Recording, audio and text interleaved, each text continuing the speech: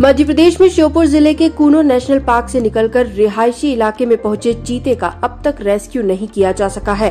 ओवान नाम का ये चीता रविवार को झार बड़ौदा गाँव में घुस गया था। ये गाँव कूनो नेशनल पार्क से करीब 20 किलोमीटर दूर है। हालाँकि जंगल की ओर लौट जाने के बाद चीता अब गाँव के आसपास नहीं देखा गया है। वन विभाग की टीम चीते की तलाश में जुटी है। चीता कूनो के बफर जोन वाले जंगल में है।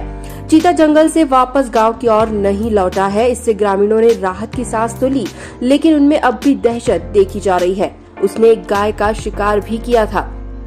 वन अमला और चीता मित्र चीते को वापस जंगल की ओर भेजने की कोशिशों में जुटे हुए हैं।